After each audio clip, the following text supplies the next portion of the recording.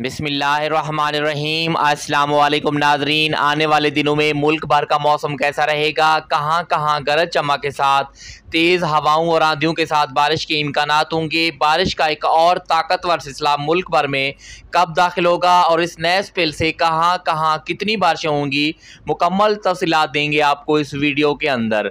लेकिन नाजरीन तफसीत में जाने से पहले आपसे गुजारिश है कि मौसम के हवाले से लम्हा ब लम्हा बखबर रहने के लिए हमारे चैनल वेदर इन्फो को सब्सक्राइब कर लें और वीडियो को लाइक कर दें। बहुत शुक्रिया। नाजरीन, मौसम की ताज़ा तरीन सूरत हाल के मुताबिक मुल्क भर में चलने वाला बारिशों का हालिया स्पेल आज मुल्क के बालाई इलाकों में दाखिल हो जाएगा, जिसके बायस गिलगित बाल्तिस्तान के मुख्त इलाकों में गरज चमक के साथ और तेज़ हवाओं और आंधियों के साथ बारिश की तो की जा सकती है।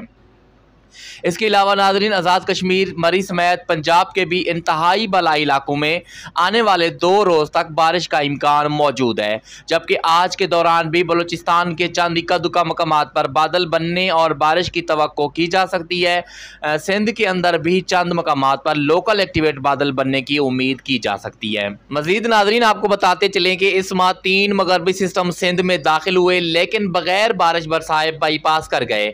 कुछ दोस्तों ने गलत गलत कॉमेंट्स भी किए। मैं इनको बताना चाहता हूँ कि हम सिर्फ़ पेश गोई कर सकते हैं। बाकी ज़्यादा इल्म और बेहतर इल्म अल्लाह ताला की ज़ात के पास है।